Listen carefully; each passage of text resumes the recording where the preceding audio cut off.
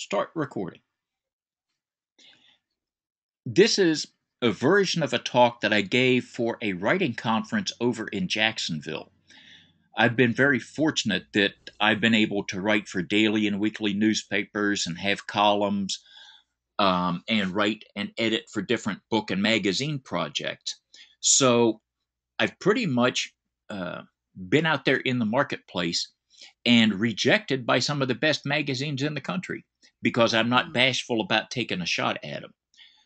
But in all of that experience, what I found is, and as I can, I now I uh, write a regular blog for the Orlando Sentinel.com, that whether I'm writing for multimedia or if I'm writing for a traditional print publication, the things I have to do to actually sell my stuff, to propose my stories, and to get them accepted, these are all still the same. And I think part of it is that a lot of the people who wind up being the editors and news directors on the big websites came out of traditional newspaper and magazine and uh, TV network and wire service backgrounds. So their sensibilities, their ideas of how to do journalism and what is worth paying for are going to be pretty consistent with the way that they did it when they worked on a print publication or a traditional broadcast station. So a lot of these principles will transfer over. What I want to do is get you all to think about yourselves as being in business because writing stories is nice and if your family and friends read them and pat you on the head, that's nice. But if I'm going to spend gas money and I'm going to have to buy batteries for the camera and I got to have a website subscription, so I got to have expenses to do what I do, I want to get paid back. There is an old uh, standard amongst photographers because we love toys. We love getting new lenses and new flash units and all these things. But if you're a professional, you don't go buy a thing unless you already got two paying jobs in mind where you would use it. So mm-hmm. if I bought some specialty lens that made fisheye pictures, I can't use them to shoot wedding portraits. The bride would come out looking ugly. So that lens is not going to make me money. On the other hand, if I go buy a 500 millimeter lens and I can shoot football and baseball with it, I can sell those pictures to newspapers and magazines, so that lens will pay for itself. So we make business decisions because we're in the business of being professional writers. So in school, I can teach you professionalism in terms of ethics and techniques, but now I want to teach you professionalism in how to do business in the journalism trade. So that's what we're going to get after. So we have to figure out why we are doing writing. Now, uh, for some of us, even back to when I was a little kid, I wrote my own stories and drew my own comic books and wrote my own. Uh, I would write sports stories after watching a ball game on TV. It just was something that was in my body, right? So, one reason we do this is to write whatever it is we want to write and then sell it. Now, the other way that jobs happen is that magazine editors call you and offer you money to write articles actually had that happen once. Uh, I was on summer vacation between semesters, and phone went off, and I picked it up. I just said hello, and a voice on the other end said, "You speak French, right?" So I said, "Who is this?" And it was an editor I worked with up in New Jersey, who had an interview lined up with an artist, but the artist and his manager only spoke kind of good English. Their native language was French. So if I spoke enough French and they spoke enough English, we could do the interview. So I got a job because of that. But I really got the job because I had done other work for this guy and turned it in on time or early. So he was a happy editor with me. And then when he was in a jam, I was who he called. So, how do we build that reputation so that uh, people just uh, shoot you an email and say, hey, you want to make some money? Uh, I would like to be in that position. I enjoy that when people offer me money I didn't ask for. So your skill set should be able to get you in a position where that can start happening for you. So I think we can have both. I I like to go out and cover concerts or ball games or cover public events that I would go to anyway. For about 15 years, I never bought a ticket for a sports event because I always had sideline photo passes or press box passes. So I was going, I just didn't have to pay for parking or to get in. So that's the first case where I get to write what I want to do and then get paid for it. However, sometimes a magazine editor will call you or a, a website director or a TV station and say, "Hey, you're you're there in Daytona Beach. It's by bike week. Can you go get something for us on that?" And to which I would say, I don't have a motorcycle. I don't ride, but yeah, I'm three minutes from where all the stuff is going on. So yeah, I'll go take some pictures for you and uh, see what I can get. So sometimes just just because you're the person in the place that is handy to what uh, what they need to get done, whether you are interested in it or not. And in either case, if I'm getting paid, I'm going. If I'm not getting paid, I'm not getting out of bed. Now, we're going to talk about nonfiction. If you want to write poetry and short stories and novels and those kinds of things, we can have a whole separate discussion because I've done some of that, but not nearly as much as I have of doing traditional style journalism articles like we talk about in this class. So we're going to hold it to nonfiction. So there are really two places to go. The first is traditional print. If you go to a bookstore, if you go to Barnes and Noble, half of the wall is tied up with magazines. So the predictions that the magazine business was going away is not true. In fact, I get offers all the time from magazines who want me to have free subscriptions simply because uh, they think I have a big office with a big waiting room. And I go ahead and I take all the free magazines because in my business, it's good for me to see what's going on and flip through and uh, see how magazines are put together and how they organize their sections. So, really, whatever it is you like, if you like to crochet, if you like cats, if you like uh, antique uh, military aircraft, if you play the guitar, there's a magazine. And if one magazine is making money, you can expect that there are two or three others that will copy that. Now, the good side about magazines is you get high credibility because when you're published in the New Yorker or um, if you're published in Sports Illustrated, that's big because magazines have a finite number of pages. So there's big competition for trying to get in there. It is very tough to crack into that market. But when you do, you get paid. And we'll talk about the money aspect of it in a moment. Now, when we talk about new media, websites and electronic newsletters and electronic journals, these people are hungry for content. They are less likely to pay new writers because you haven't proven that you're worth money yet. However, they are very likely to grab your story and publish it. Now, the advantage to that is that your stuff has passed through at least one other person. See, if you publish it on your own website, you're your own editor. So even though I critique your articles, I can't stop you from hanging up your story. So you could write garbage and put it up there and say, look, I'm published. But in traditional sense, in professional sense, you get published when somebody else, some editor, some news uh, uh, media moderator who has a forum of some kind, has evaluated your work and said, yep, it's good enough, we will run it. So when you pass the bar of somebody else's approval to get into stuff that they control and that you don't, that is getting published.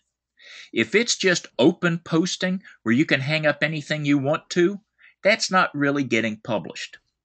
See, for me to get picked up by the Orlando Sentinel, even with all my experience, I had to send them some sample articles. And then it took about 30 days for them to get together and decide who were going to get opportunities to be new columnists, to be new bloggers for them. So even with 30 plus years experience and envelopes and envelopes of clippings and printouts of stuff that I have done, I still had to go through the application process and get approved. So that's what you do at reputable new media. Now, eventually, some of these electronic newsletters and websites do pay off. Now, I've gotten little checks like 10 or $15 for writing movie reviews or book reviews, things like that. However, they still count because somebody had to approve putting up your story. Nobody cares how much you got paid when you can put in your letter later on that you say, Yes, I've been paid to write for New York Review of Science Fiction and so on and so on. Even though they only paid you $10 an article, you still got paid. Somebody approved you.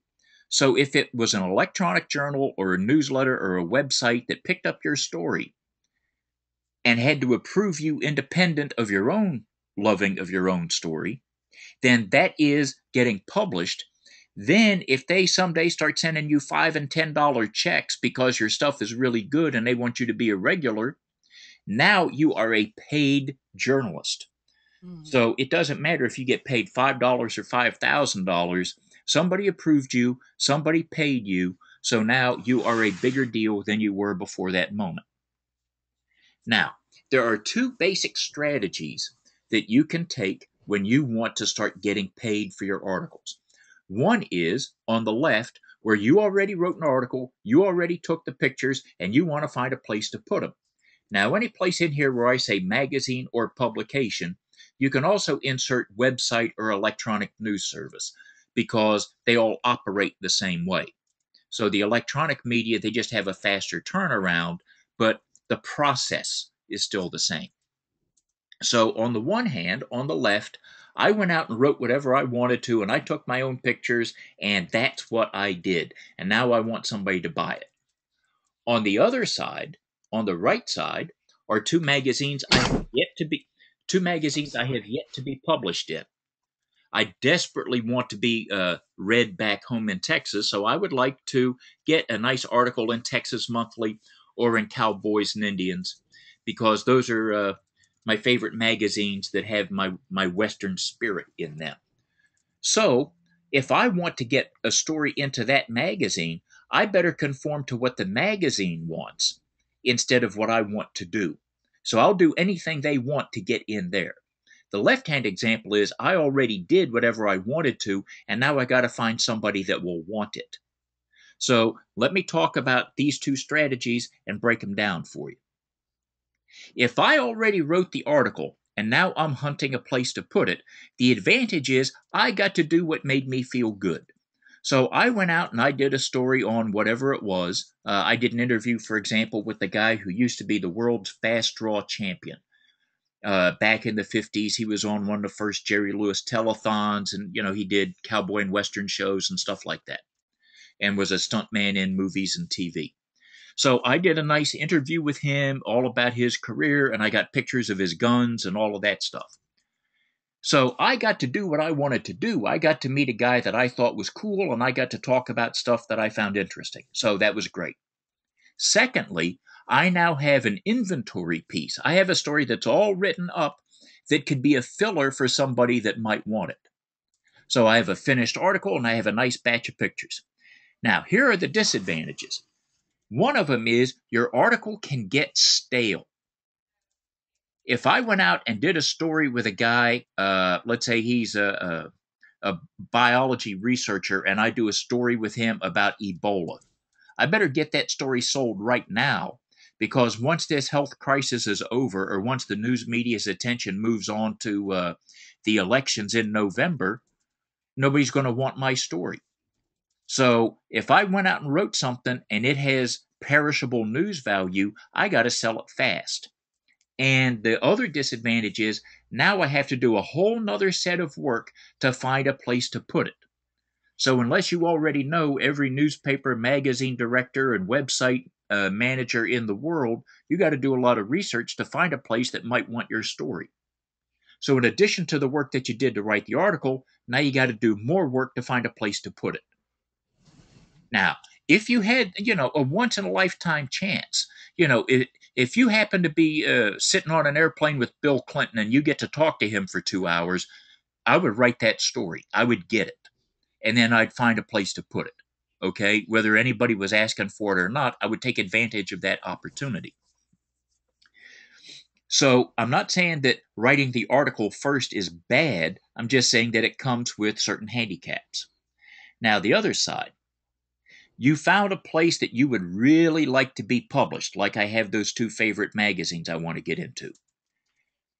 If you already have some publishing venue picked out, be it a, a, website or a syndication service or a stock photo agency, whatever it is, but the company already exists and you have identified it, first, you are more likely to get paid and you are more likely to get published because you have already identified a professional outlet.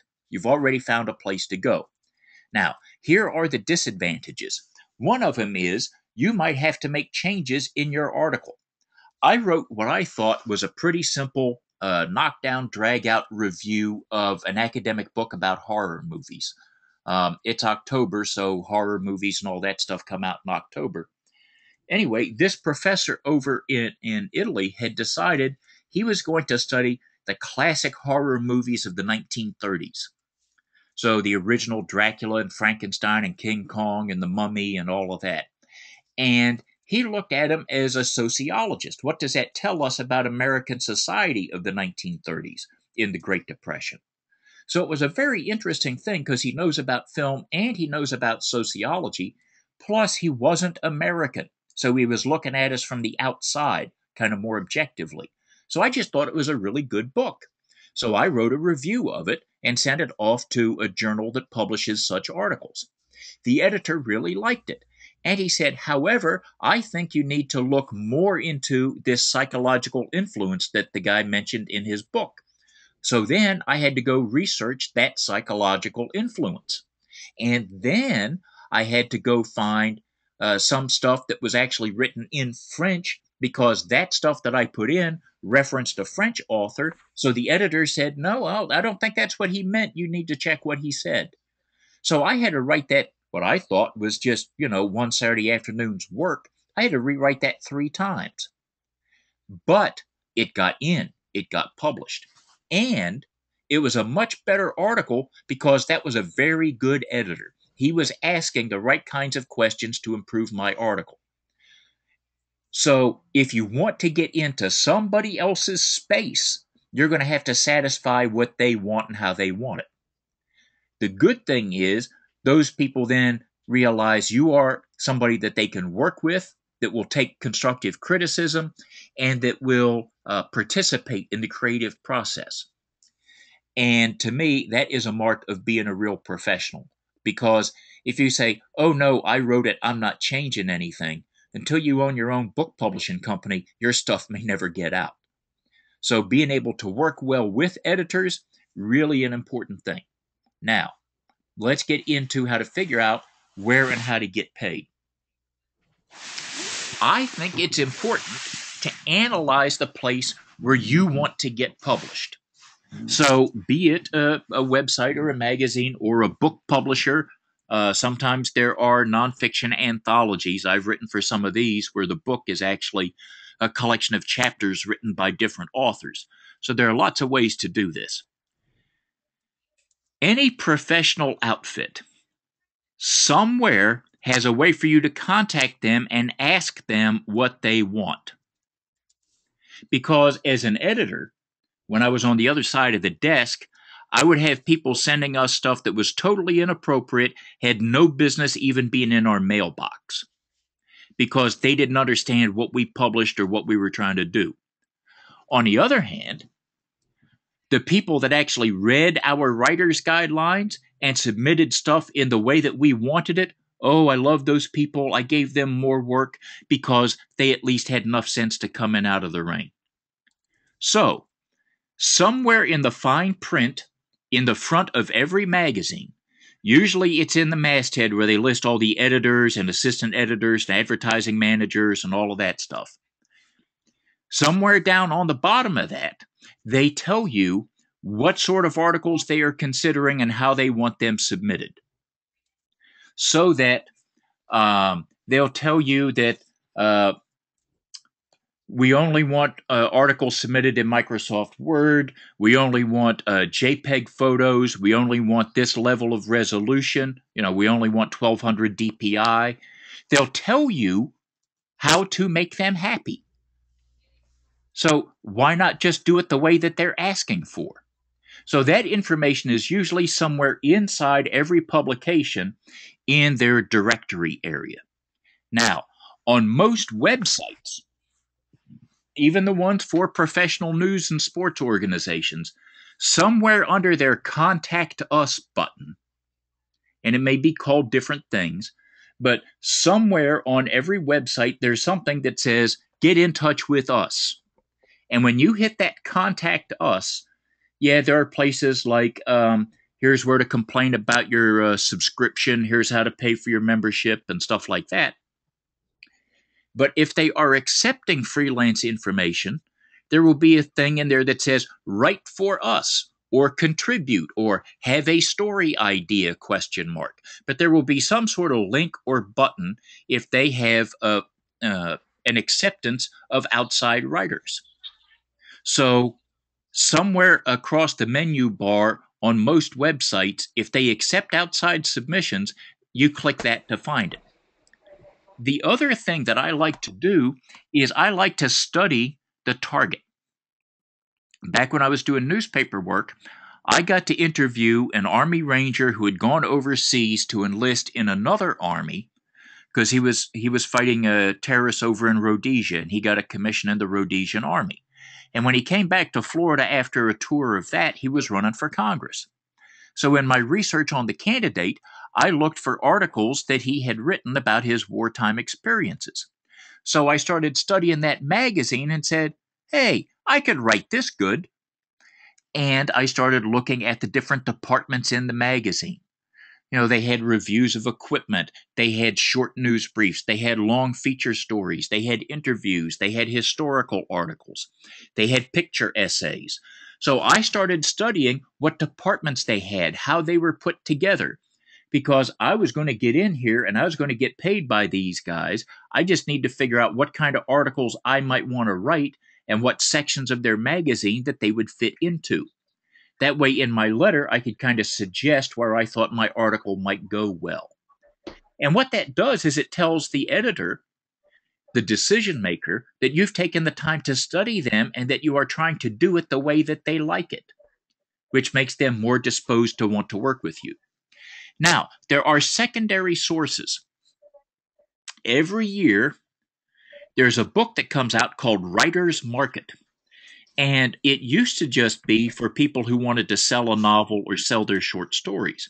But as the media has changed, it continues to include reviews of major websites, wire services, I mean, even greeting card companies. If you want to write poems for greeting cards, you can get paid for that too.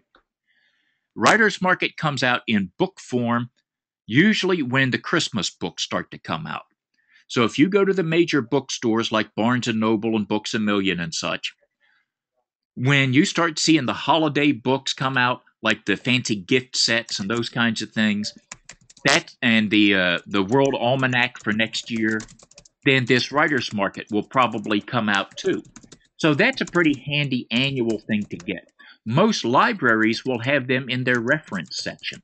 So if you just want to go check one out for free, um, a lot of these things don't change very much from year to year, except in terms of the personnel working at the place.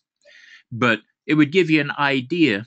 Um, for example, if I pulled up Texas Monthly in Writer's Market, it would tell me that it is 50% staff written, which means half the time they already got a guy on salary who's writing. They would say uh, they do accept book reviews and movie reviews. Holiday articles must be submitted six months in advance.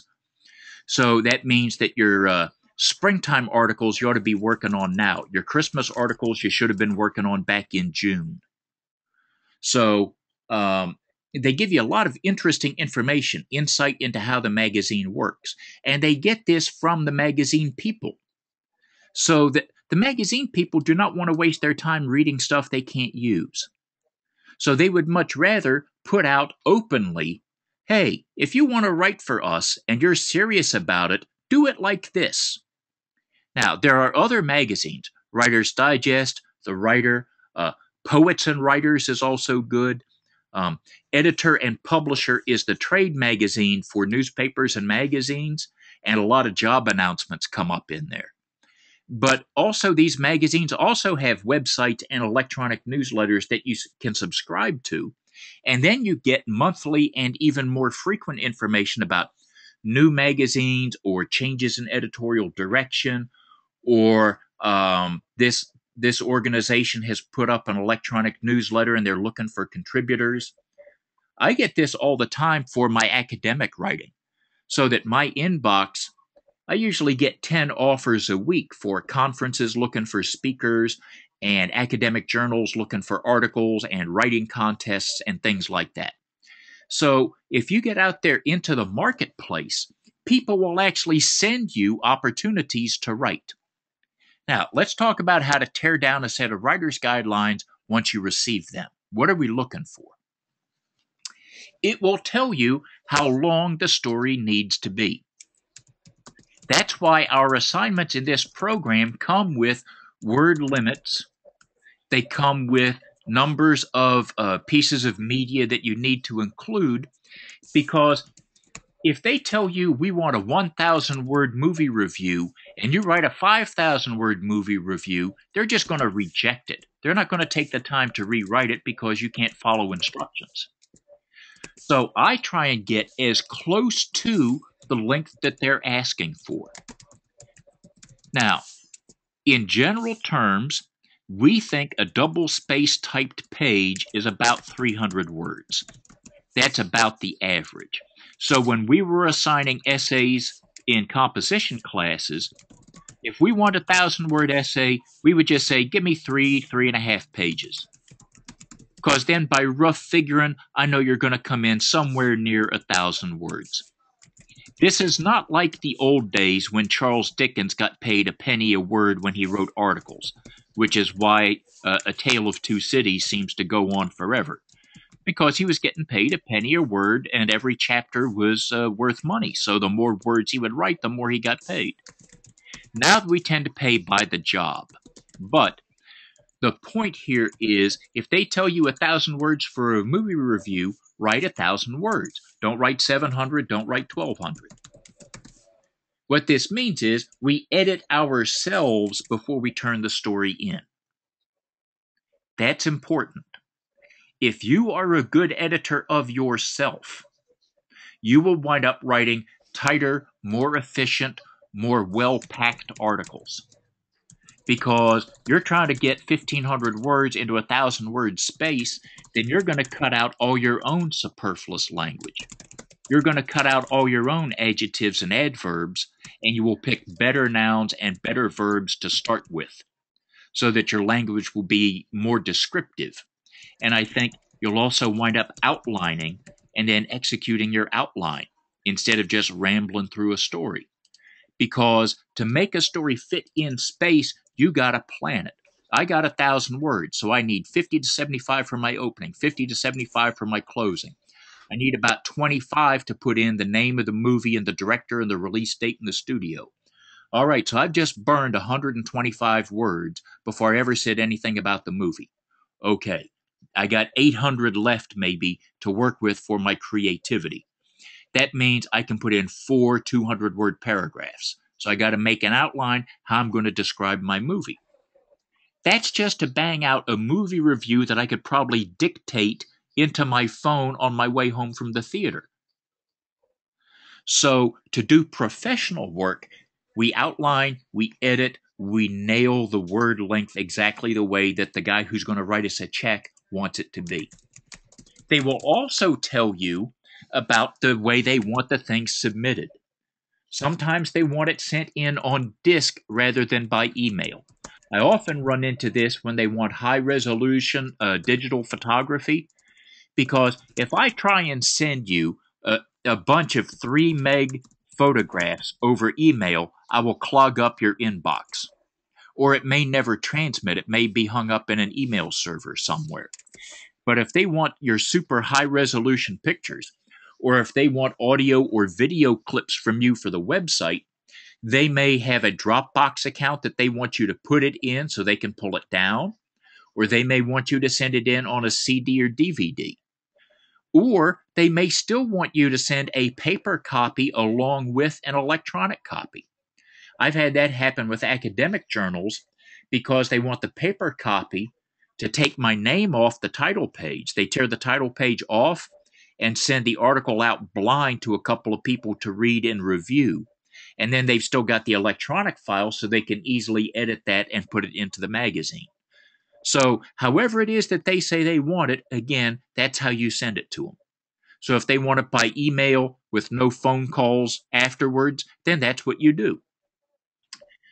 My ex girlfriend, who just got married, and I'm actually happy about it, sent her a congratulations. She was working as a poet. Now, she's still an English teacher and she writes uh, comedy skits and things like that, but poetry was her main thing. So she actually had a board in her office at her apartment. She had a separate writing room like I do. And on that wall was like a calendar of every poem she sent out. So she had this dry erase board. When she sent it out, who she sent it to, and when she should hear back from them. So she might have 20 or 30 poems in circulation at a time. Because this was a big board. It was like a sales uh, chart at a dealership for uh, selling cars. But the point was, when an article came back or a poem came back, then she would repackage it, send it to the next magazine on her list, and she would update her assignment board. So she was running missions as if she was a squadron commander and all of her poems were airplanes. So, with that business like approach, she has now published three books because she works at her work. So, following these formats, submitting it the way that they say that they do, make a note of uh, what you hear back, when, how long it takes them to review articles, all of that are parts of your being in business. Now, art formats. Sometimes they want charts, sometimes they want uh, photographs, and they will tell you if they want JPEGs or if they want TIFFs, if they want PNGs. So, what you have learned in your Photoshop class about different file formats and resolutions, and whether they want it color corrected or not, because they may want to do that themselves, they may want the raw image. That will be in their specifications about how they want the art format. Now, let's talk about money. That's where we get into rights and kill fees. When you sell an article to anybody, the typical thing that you are selling them is called first time North American serial rights, which means that in the United States and Canada, they can publish your story one time. I've worked with magazines that also had British counterparts. So if they wanted to sell it to the British magazine and publish it over there, they had to pay me twice because I only sold them the US and Canada rights. If they wanted the British rights, they had to pay me a second time. Sometimes I wrote articles that were so good, yes, I'm bragging, that they would put it in their annual collection for the best of 1989. So if they did that, then they had to pay me again for the reprint fee. Sometimes I did photos that were so good they got on the covers of the magazines you get a bonus for that because they think your photo is good enough that people will pick the magazine off the rack. That's how they pick cover photos. So, yeah, I should get an extra $100 if you put my picture on the cover. Sometimes they would use my pictures in ads, like they have, would have ads in the magazine to uh, promote their other products and things. If they used one of my illustrations for that, then they had to pay me for the commercial rights.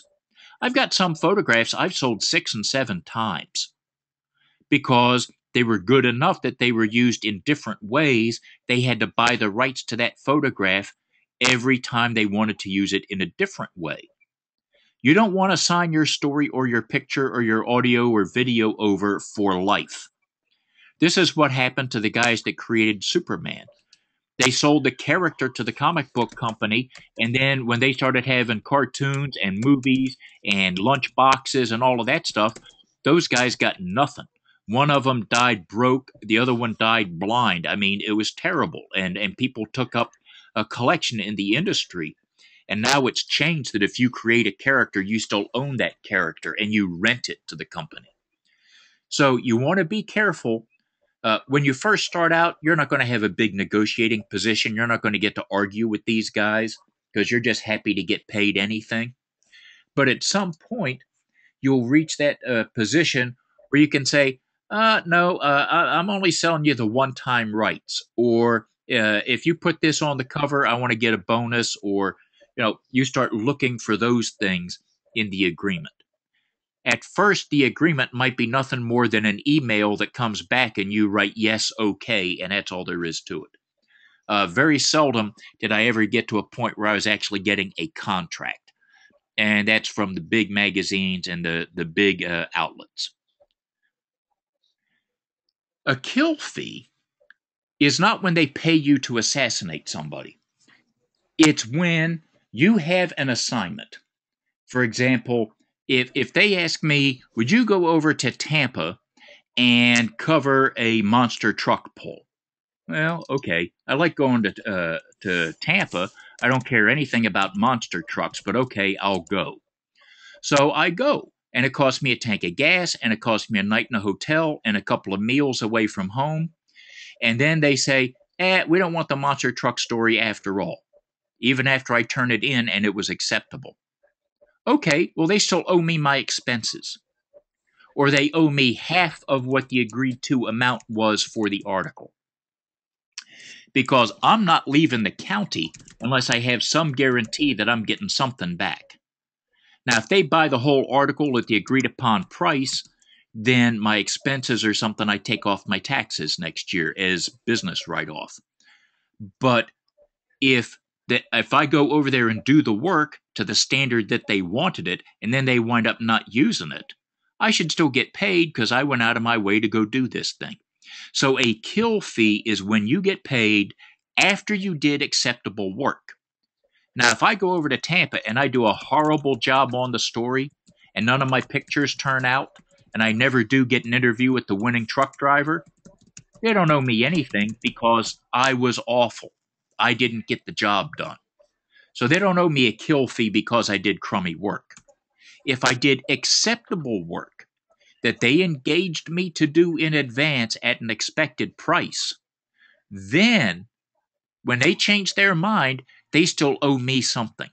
And that kill fee may be just my expenses, it may be half of what the article was worth, but that is usually in there when they give you some kind of assignment like that where they have engaged you in advance to go do something.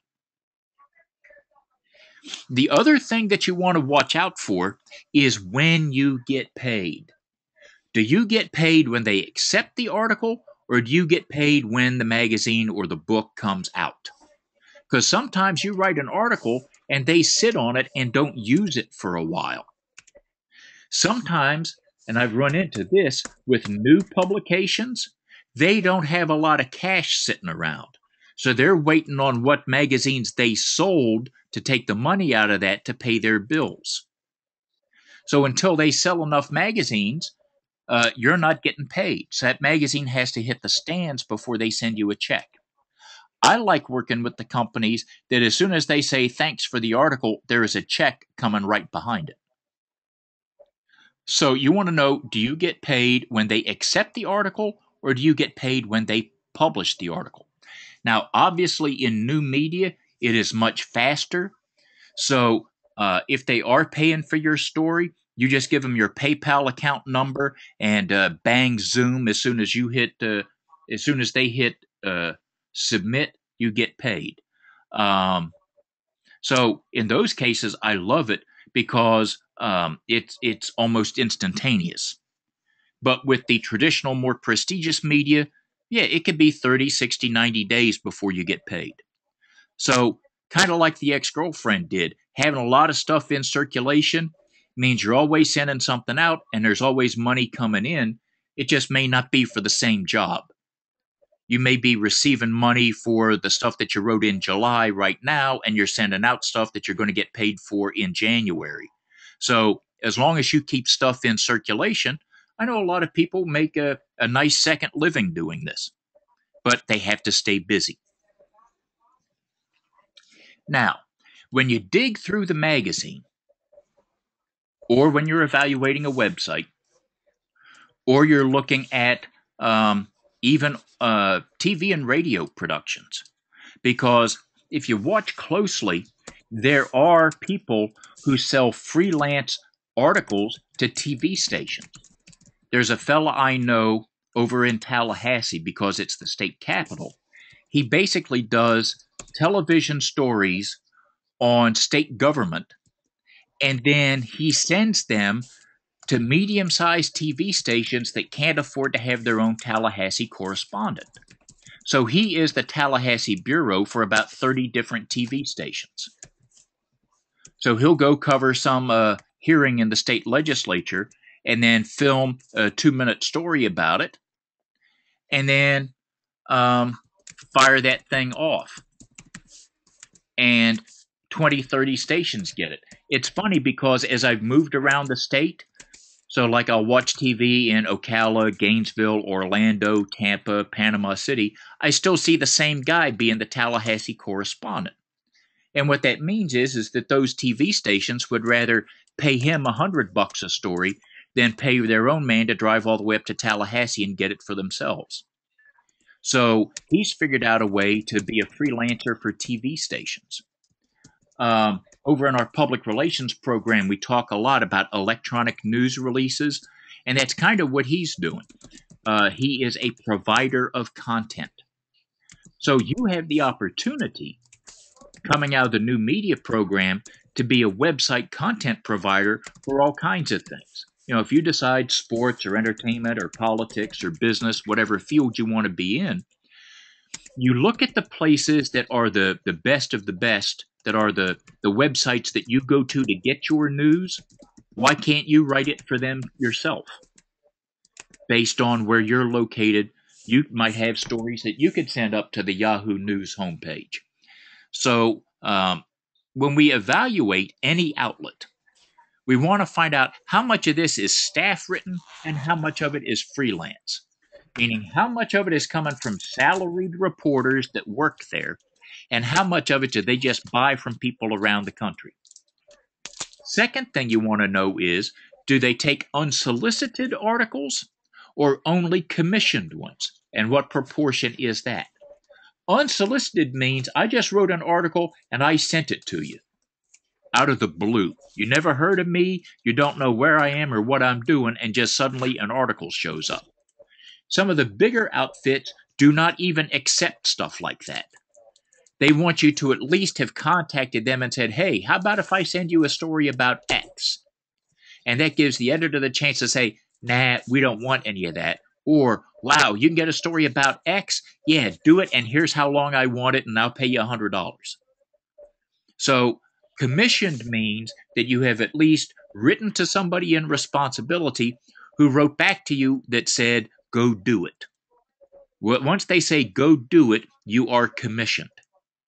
Now, sometimes when you get commissioned, they're still not guaranteeing they're going to pay you because maybe you don't have a record with them yet. And that means that you're writing on spec, O N S P E C, which is short for on speculation, meaning they are speculating that from what you've told them, you might turn in a good story.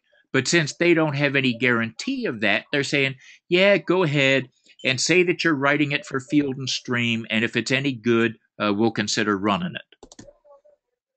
So then you can show up at some fishing tournament and say, yeah, yeah, I'm here for Field and Stream, and I want to know if I can talk to the tournament organizer and uh, the best fish. So uh, you you at least get access to the event. I like to actually print out the email I get from the magazine editor or carry a copy of the letter with me in my bag so that I have some proof. Because obviously, I don't have business cards that say Field and Stream on them. I don't have a photo ID that says Correspondent Field and Stream Magazine. But I do have a note that says I'm here doing this on their behalf. Because people will just look at you, just showing up from nowhere with a camera and saying, Hey, I want to come cover your tournament. Well, who are you and who sent you? And then you pull out your little letter. Columns the opinion articles are almost always staff written. meaning somebody that works here has earned the right to write a column. Usually, people have to be a reporter for a while and get a good record of credibility with the editor, and then the editor may promote them to an opportunity to write a column or to write an opinion piece. They used to tell us, you don't get to have an opinion until I tell you you do. So, being a columnist is a tough thing to get. You got to have a long track record and be an expert about something. However, if you want to publish opinion, there are places that will accept letters to the editor or, or comments and guest comments. Uh, when you have me in month 10, I actually do a whole week with you on how to go get published like that on different websites where you want to piggyback onto what prestigious writers have said and you want to get yourself noted for being a commentator about what they wrote. I actually know people who got their big break as writers by being good letter writers so that they would regularly write letters into certain publications and the editors got to know them and they go well this guy has a good opinion. He has some good thoughts about stuff. Let's give him a shot at writing something for us. So anytime you get your name and your words out there it can be good for you. Another thing that happens in a lot of uh, places because they are so hungry for content that reviews like book reviews, product reviews, like I actually had somebody send me gun oil and I wrote a review on this new gun oil. Now, I got a whole box of free gun oil out of it, but I also got two paragraphs published in the magazine and a $25 check. So, because I tried it out and, and wrote up uh, my impressions of it. News briefs when the Air Force decided to create Space Command, which would be over missiles and satellites and things like that, I got the word on that from a contact on mine in the Air Force, and I got a look at what the patch was going to look like. So I got a picture of the patch and a copy of the news release, and I wrote that up and I put that into a military magazine. Again, it was one picture and a couple of paragraphs, but it was another $25 check. So these little news briefs that's another way to get in. So that if you can be the person that sends out news nuggets and you don't mind getting 10 little checks instead of one big one, then there are opportunities for you. Now, if you want to get commissioned, if you want a proper magazine, book publisher, um, TV station, or wire service to let you use their good name to go out and go to work uh, on a story, you have to write what's called a query letter. Query, of course, is a variation of the simple word question because what you're doing is you're asking them a question. Can I go represent you at this event and then send you a story and pictures? So basically, you're asking for permission to be their agent. When you think about it, uh, the big magazines, Road and Track, Car and Driver, Woman's Day, whoever it is, they can't possibly have enough people all over the world to get all the stories that they might possibly use. So instead, they rely on people like you and I to offer them stories. But we offer them first via the query letter. So the first thing you got to do is pitch them the story. The first paragraph of your query letter is essentially the lead for what your proposed story would be. So you're going to tell the story of Siamese twins who were separated uh, because one of them wanted to get married. Wow, that's interesting. I want to read that story. So the pitch, the first paragraph of your query letter has got to be the wow, I want to read that story sentence. Sometimes I actually did it as a question. What if I could tell you the story of an officer reuniting with his Jeep driver after 50 years when both of them served under General Patton. Wow, Patton's interesting. Anything about Patton uh, can can work in our magazine, and that's kind of got a human interest thing about two GIs meeting each other after all those years. Yeah, okay, yeah, I, I'd want to see that. If you can make the editor think that when they're reading, then you have a chance to get to the second paragraph of your letter. Okay? So the first paragraph, we're going to do the uh, we're going to do the uh, Jeep driver Patton reunion thing. All right, that's what I want to talk about. So that's what I'm going to pitch. I actually did that story, so I can tell you about it. Now, why am I a credible writer about stuff like this? Well, I covered military affairs for uh, the Panama City News Herald. Uh, I've covered a lot of military maneuvers and events. I've even gone out on naval ships and gone out on maneuvers with the Coast Guard. So I've covered a lot of military topics and even grew up in a military family myself. Okay, there's paragraph number two. We've explained why I am a proper writer to execute this kind of story. I've been around military stuff, I grew up in it, I've done some writing about it already. Cool. Okay, so this guy's not going to call a sergeant a colonel. He won't make stupid mistakes. Now, second, or the third paragraph. How do you know I am a professional writer? In addition to my newspaper work, I've also published my articles in Combat Weapons, Soldier of Fortune, Gung Ho, and other national military magazines.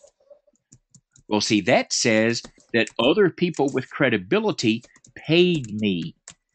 Must mean I turned stuff in on time and the editor thought it was good enough to use. Now, what can I deliver? What will they receive from me? I think this article would run 5,000 to 7,000 words.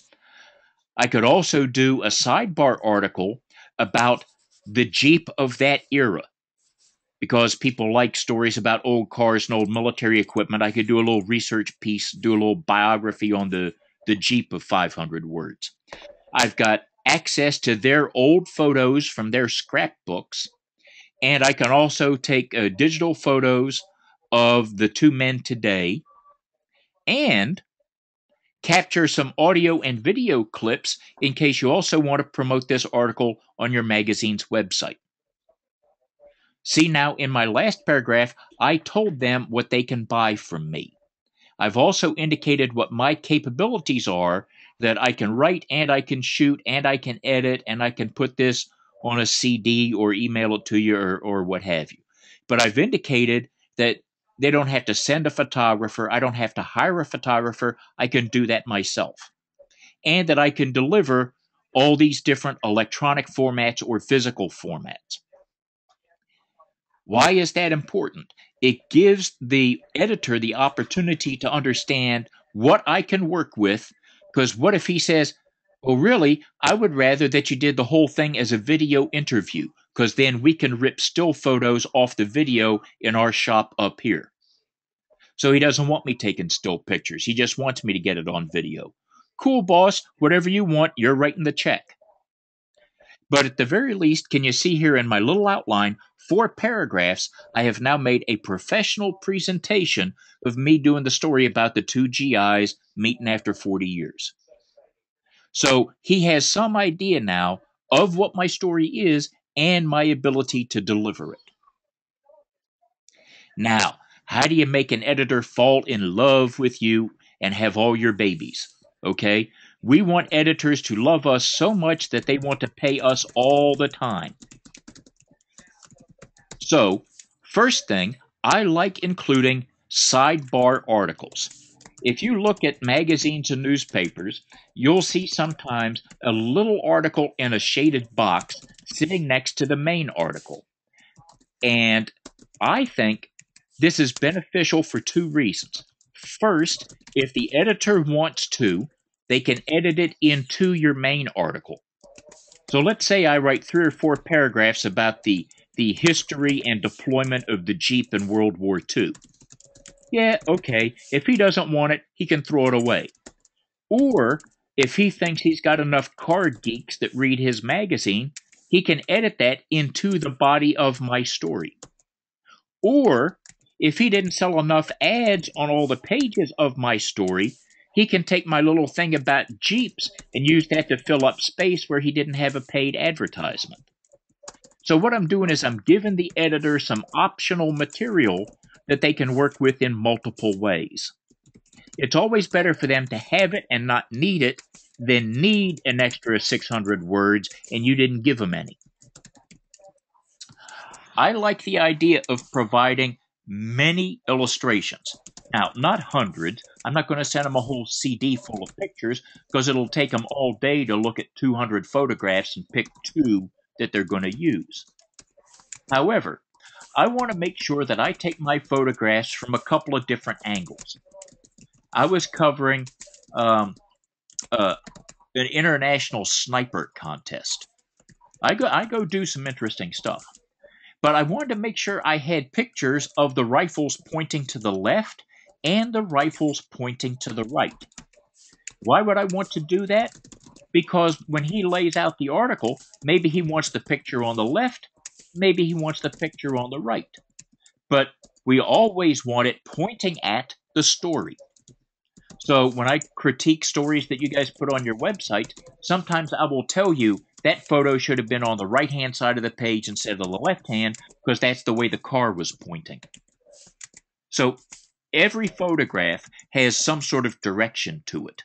So even if somebody has just turned their head a little bit to one side, that now becomes the front. That's where the photo is aiming.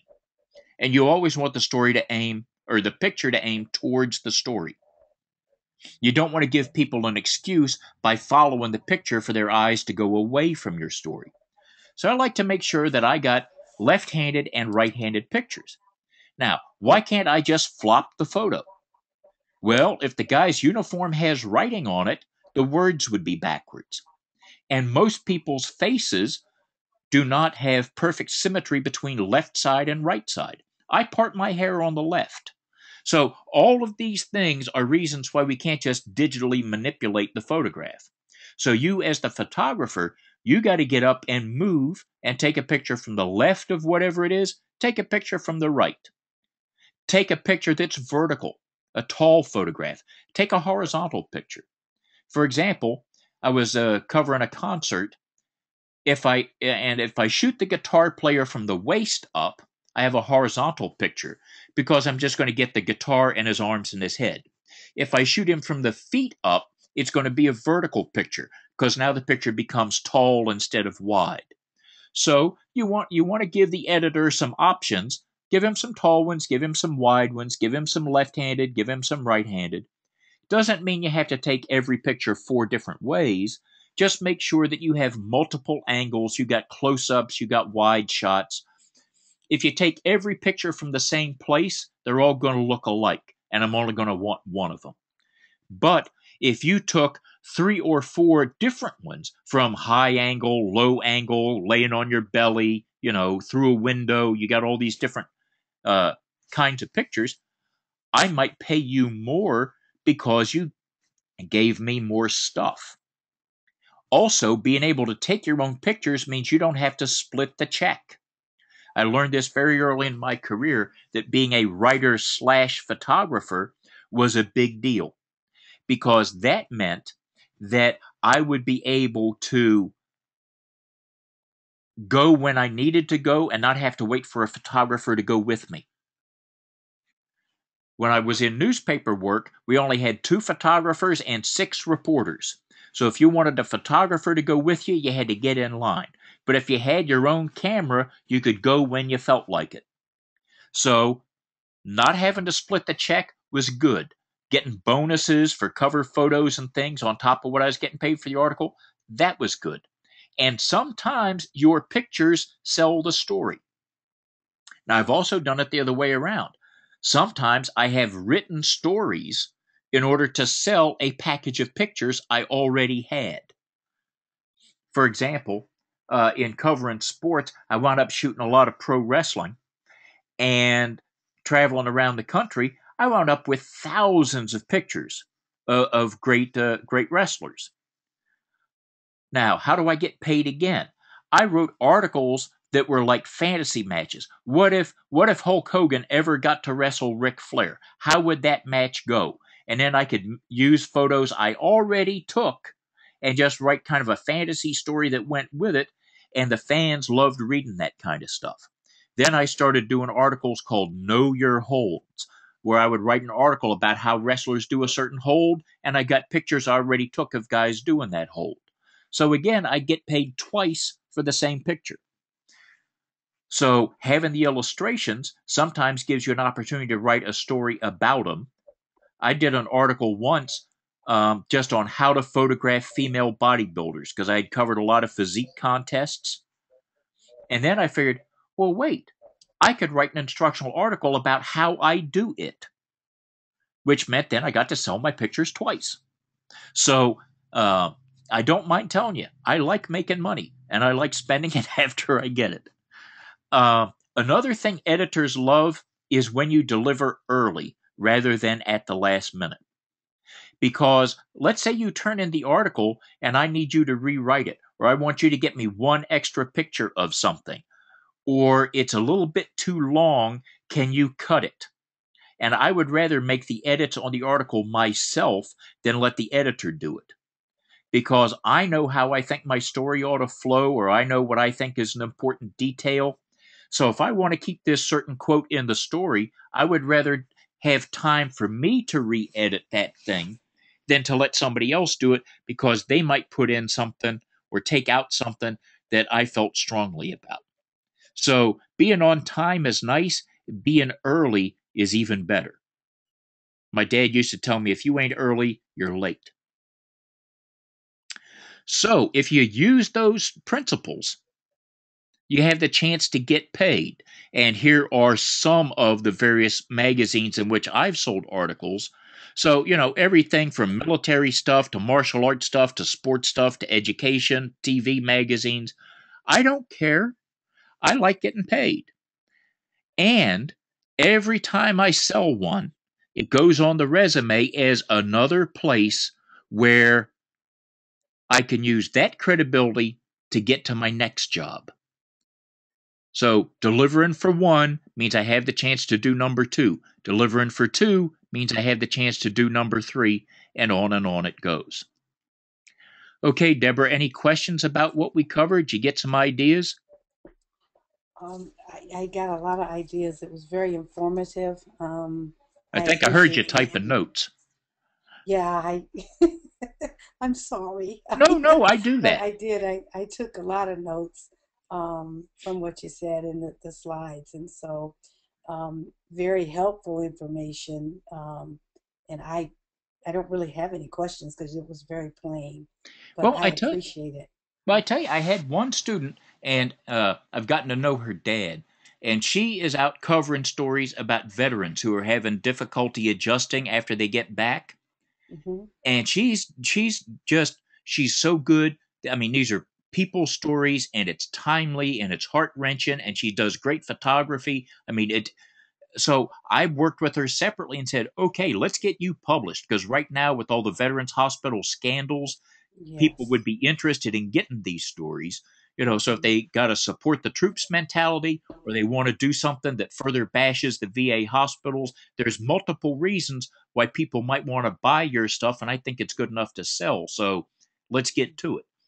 So we have, I mean, I got one student in Singapore, I got one in Mexico City, and these are like my foreign correspondents. If they become good, they become outstanding sources. They become my local bureau chief in Singapore. I mean, it, it's mm. it's really exciting what we have going on with new media and being able to send our stories around the world. Mm-hmm. So I think having this professional understanding of how to work with the professional companies, this gets you into the big leagues, or at least gets you into double A ball. Um, yeah. Writing stories for yourself and your own small audience of 200 Twitter followers, that's nice. Okay? I'd rather that was 2,000 than 20,000, than 200,000, or you getting paid two grand a month as a writer. So, to make that happen, this is how you get in the door. This is how you present yourself to the people that got the checkbooks. Okay.